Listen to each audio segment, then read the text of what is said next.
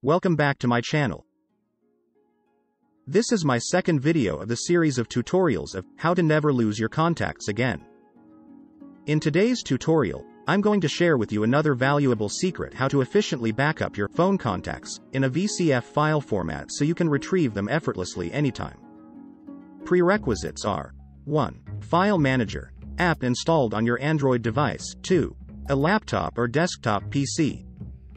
If you have these all in place, let's begin. Go to your Contacts app icon and tap on it.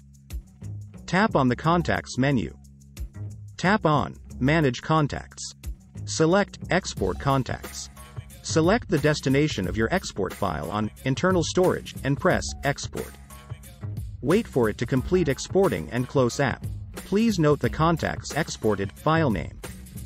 Now, to confirm this file has been exported successfully, open the Files Manager app on your phone. Tap Internal Storage and select the Downloads folder. Check and confirm the contacts exported file is present. Now let's go to our PC to backup and save this file and also view it. Go to Windows Explorer by typing this PC onto the search bar on the bottom left and click on the result app icon above right. Click on your phone icon to open it. Select Downloads folder and find the VCF file that you have exported. Copy it to your clipboard. Go to one of your personal folders on your PC where you want to save your backup for later use and paste it. Now, if you want to view this file on your PC, right-click on it, hover your mouse over the option, Open with, and select the Excel app icon to the right. There you have it, you can scroll through all on your contacts on the Excel app on your PC.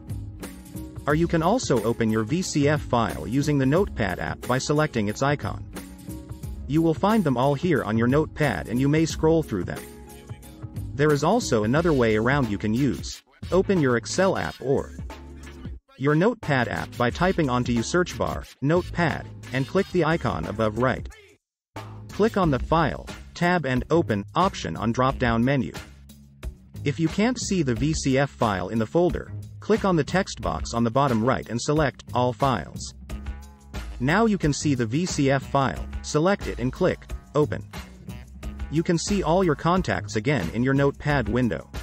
The same applies if you are gonna use Excel app spreadsheet. And there you are, folks. That's how you seamlessly back up, save and view your phone contacts on a PC. If somehow, you find another phone and want to restore your old phone contacts to that new one, just copy the VCF file from your PC to your phone, internal storage.